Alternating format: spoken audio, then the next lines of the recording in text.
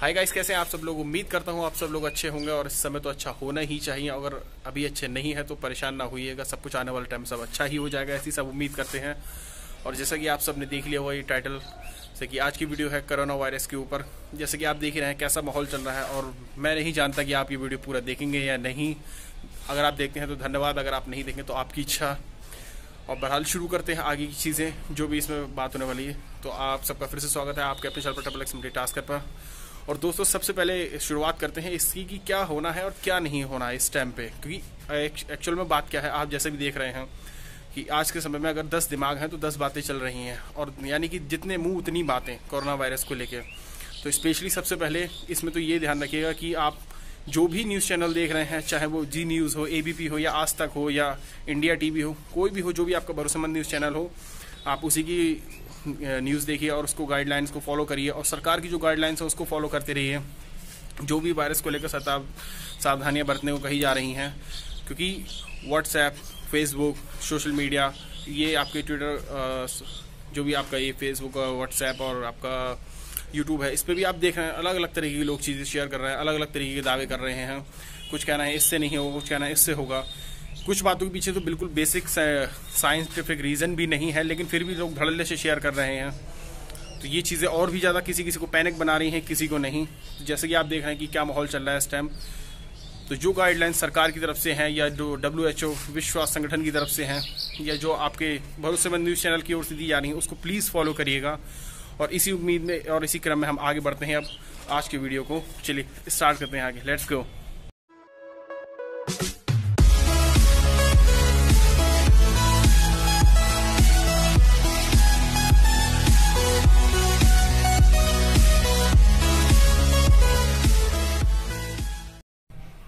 Hi guys तो थोड़ा सा करेक्शन ये करना है कि आज तारीख 19 मार्च 2020 है। आगे गलती से वो 2020 की जगह 19 मेरे मुँह से निकल गया है। तो वो करेक्शन वहाँ पर मैंने कर दिया और इसको मैं प्लीज़ पीछे ही लगा रहा हूँ। एंड थैंक यू प्लीज़ आगे देखिए। हाय गाइस तो आपका फिर से स्वागत है। तो स्टार्ट करते हैं। ये वीडियो चार स्टेप में बनाने की मैंने सोची थी। सबसे पहले प्रॉब्लम और डिटेल, दूसरे पे आपका सोल्यूशन और तीसरे पे प्रोटेक्शन और चौथे पे जिन लोगों को ये वायरस इन्फेक्टेड कर चुका है। तो सबसे पहले बात कर लेते हैं। जल्दी से जल्दी जितनी भी आपको डिटेल में दे सकता हूँ, कम से कम टाइम लूँगा आपका मैं, और ज़्यादा से ज़्यादा डिटेल देने की कोशिश करूँगा। पहली प्रॉब्लम ये डिटेल आपकी चल रही है। ये प्रॉब्लम आपकी शुरू हुई चाइना के वुहान शहर से। कुछ लोगों का दावा है ये चमकादड़ से फैली, कुछ लोगों का दावा है ये सांप से फैली। एक्चुअल में जो कंडीशन है वो बहुत कम लोग जानते हैं। दरअसल ये केस शुरू हुए थे निमोनिया के केसेस से कि कुछ एक, एक एक या दो पेशेंट को निमोनिया की शिकायत शुरू हो गई। जो लोग वहाँ पर काम करते थे वहाँ की शी फ़ूड मार्केट में। शी फ़ूड यानी कि समुद्र की जो भी चीज़ें होती हैं उनको खाने पीने या जो बेचने का बाज़ार होता है वो शी फ़ूड मार्केट कहलाता है। उससे संबंधित थे वो लोग जिनको निमोनिया हुआ। उनको सांस लेने में दिक्कत होनी शुरू हो गई। उसके बाद से उनका जब ट्रीटमेंट किया गया इस वायरस को पहले पहचान लिया गया था कि ये अलग तरीके का वायरस है, जो कि सन 2002 में पहले इससे पहले फैला था चीन से, जो कि था आपके दो वायरस फैले थे, पहले सार्स और MERS. S A R S S A R S और एम ई आर एस। तो S A R S SARS जो वायरस था वो 2002 में फैला था, जिसकी वजह से दुनिया भर में 700 मौतें हो गई थी और उसका आखिरी मामला 2004 में आया था, जिसकी वजह जिसको लेकर डब्ल्यू एच ओ ने चीन को फटकार भी लगाई थी। और इसका जो अगला मामला था वो आपका निकल के आया था इसके तकरीबन तकरीबन दस साल बाद होने के। तो जो कि था इसका एम ई आर एस का। तो इसकी वजह से तकरीबन तकरीबन जितनी मेरी जानकारी में है अभी सात सौ से आठ सौ मौतें लगभग हुई थी। पच्चीस से या, पच्चीस से सत्ताईस देशों में ये फैला था, जिसकी वजह से सात सौ से आठ सौ मौतों का करीब आंकड़ा था इसमें। और अब दस साल बाद जो कि आप देख रहे हैं, जो डिसीज़ निकल के आई है जो कि ये कोरोना वायरस, सबसे पहले इसकी जो बात आती है, ये आता था जानवरों में। यानी कि पहले जानवरों में ट्रेवल से ट्रेवल करता साधारण भाषा में समझे तो वायरस दो टाइप के ऐसे रहते हैं। कुछ जो जानवरों में ही टहलते हैं, जो कि नॉन ट्रांसफरेबल होते हैं, वो इंसानों में नहीं आते हैं। और कुछ वायरस ऐसे होते हैं जो परिपक्व होने के बाद या आपके पूरे होने के बाद में इंसानों में ट्रांसफ़र हो जाते हैं। तो ये वायरस उनमें से एक था। कोरोना नोवल कोरोना वायरस जो पहले जानवरों में फैलता था 2003 में जो चमकादड़ और आपके घोड़े की नाल, इनसे संबंधित वायरस ये उभर के आए थे और जो फैले थे। और 2000 करीब करीब करीब आठ या दस में, क्योंकि क्योंकि 2002 से 10 साल की बात की बात है जब M E R S MERS virus फैला था तो उस समय ये ऊँट से संबंधित मामला निकल के आया था जिससे ये फैला था वायरस। और अब जो ये वायरस फैला, ये आपके शी फ़ूड मार्केट की वजह से, यानी कि जो वहाँ की मार्केट है, वहाँ से समुद्र से या जो भी खाना पीना होता है, उनसे ये वायरस किसी तरह इंसानों में आया। अब ये लोगों से फैलना शुरू हो रहा है। और अभी तक जो इसकी स्टेज है आज 19 मार्च 2019 है और जो कि इसको पहले नाम दिया गया था 2019 N N C O V और अब इसको बोल रहे हैं COVID 19 C O V I D nineteen. और आज 19 तारीख ही है और अब तक इसकी वजह से जो हालात हैं करीब 7,500 से ज़्यादा मौतें हो चुकी हैं पूरी दुनिया में। करीब 150 से ज़्यादा देशों में ये फैल चुका है। और भारत के भी आंकड़ों में अभी लगभग लगभग तीन मौतें दो तीन मौतें इसकी हो चुकी हैं इनके पेशेंटों की। और दुनिया भर में जो मामले इसके सामने आ रहे हैं, वो आपके तकरीबन तकरीबन एक लाख पच्चीस हज़ार से भी ज़्यादा मामले अभी तक सामने आ चुके हैं। और ये आंकड़ा बढ़ता ही जा रहा है और ये आ गई इसकी डिटेल डिटेल इसकी बहुत सारी है। आगे इसके बारे में अलग से वीडियो भी बन सकती है और को भी देखेंगे, उस पर कभी बात होती है आगे। अब बात आती है नंबर दो, सोल्यूशन की, जो कि इसका सोल्यूशन बात हो रही है कि सोल्यूशन आपका अभी तक इसकी कोई वैक्सीन नहीं है। वैक्सीन नॉर्मली आप जानते हैं जैसे कि वायरस होता है vital information resources under size आपका जो वैक्सीन होती है वैक्सीन एक तरीके से, क्योंकि वायरस को जो हमारी बॉडी होती है, वही खत्म करती है। वैक्सीन सिर्फ़ जो वायरस है, उसका सबसे कमज़ोर कण, या फिर जो सबसे कमज़ोर अनएक्टिवेटेड वायरस होते हैं, उसका एक बहुत ही फाइन और संतुलित बैलेंस होता है, जिसको बहुत ध्यान से बनाना पड़ता है। जब वो बॉडी में जाता है बॉडी को इन्फॉर्मेशन की ज़रूरत होती है कि कौन सा वायरस किस टाइप का है, जिसके अगेंस्ट में वो वर्क करे। जब ये वैक्सीन पूरी प्रॉपरली बनती हैं, तब जाके शरीर को पता लगता है कि इसके खिलाफ इस तरीके से काम करना है। तब जाके बॉडी उसके अगेंस्ट में फाइट करती है, जिसकी अभी वैक्सीन है नहीं। अभी काफ़ी रिसर्च चल रही है, जापान की फार्मा कंपनी और अमेरिका की फार्मा कंपनी, ये दुनिया भर की फार्मा कंपनियाँ इसके ऊपर काम कर रही हैं।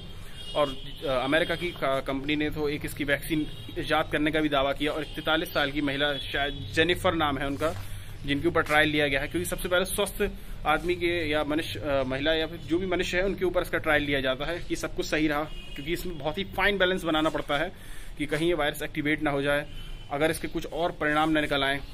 और इसमें लगभग लगभग एक से डेढ़ साल का समय कहा गया है, जो कि सच कहें तो कम है किसी भी वैक्सीन को बनाने के लिए परफेक्ट वैक्सीन को बनाने के लिए। लेकिन अब इतना समय फार्मा कंपनियों का दावा है कि इतने समय में उस टारगेट को पूरा कर लेंगी। हम उम्मीद करते हैं, हो सकता है कि इससे पहले भी हमें कोई अच्छी खबर आने को मिले।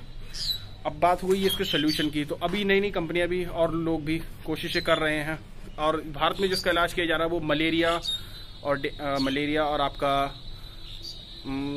एक और है आपका जो एचआईवी में जो दवाइयाँ इस्तेमाल होती हैं डेंगू मलेरिया एचआईवी इस तरीके की जो दवाइयों का कॉम्बिनेशन है वो बना के इसका इलाज करने की कोशिश की जा रही है जो कि काफ़ी हद तक सफल भी है। और अब बात आती है इसकी प्रोटेक्शन की। तो अच्छी बात यह है कि क्या नाम है कि सबसे पहले आपको बता दूँ कि जितना जो पैनिक माहौल बना रखा है सबका, कि बहुत से लोग इसे रिकवर भी कर रहे हैं क्योंकि अलग अलग वायरस की स्टेजेस होती हैं। स्टार्टिंग की स्टेज से भी बहुत से लोग वापस आ रहे हैं, बहुत से लोग इससे रिकवर भी हो रहे हैं, ठीक भी हो रहे हैं, काफ़ी सारे लोग भी।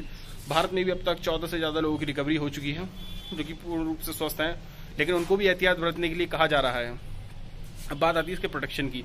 तो दोस्तों प्रोटेक्शन अभी बहुत ही ज़रूरी है।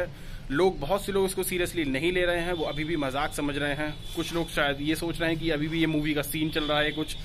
तो आप समझिए, अगर आप ढंग से प्रोटेक्शन नहीं लेंगे तो दिक्कत आप ही को ही होने वाली है।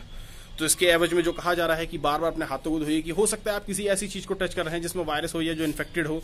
वो वायरस आप पे आया, फिर बाद में किसी और को ट्रांसफ़र ना हो। इसलिए कहा जा रहा है कि आप अपने हाथ धोइए और सैनिटाइजर एल्कोहल सैनिटाइजर जो है, उसका ही इस्तेमाल करें एल्कोहल क्योंकि अल्कोहल के जो आपके होते हैं सैनिटाइजर ये बहुत जल्दी बैक्टीरिया को मार के उनको खत्म करते हैं। और जो ये आपके सैनिटाइजर होते हैं, इसमें 70 टू 72 परसेंट एल्कोहल होता है। बाकी इसमें आपका एलोवेरा जेल टाइप क्योंकि हाथों में नमी बरकरार रहे, क्योंकि बार बार हाथ सैनिटाइजर के इस्तेमाल से भी रूखे सूखे होने लगते हैं। तो अच्छी क्वालिटी का सैनिटाइजर यूज़ करिए। और आपके साबुन में अगर आप यूज़ करना है तो अच्छी क्वालिटी का ही करिए। जो भी बेस्ट कंपनियाँ चलती हैं इस टाइम पे डिटॉल लाइफ बॉय जो भी आप चाहते हैं सेवलॉन जो भी आपको बेस्ट हो। आप यूज़ करिए सैनिटाइज़र और सोप जो भी है। लेकिन प्रोटेक्शन रखिए। और मास्क अलग अलग टाइप के आती हैं चीज़ें। उसको भी इस्तेमाल करते रहिए। आप ही के लिए फ़ायदेमंद होंगी।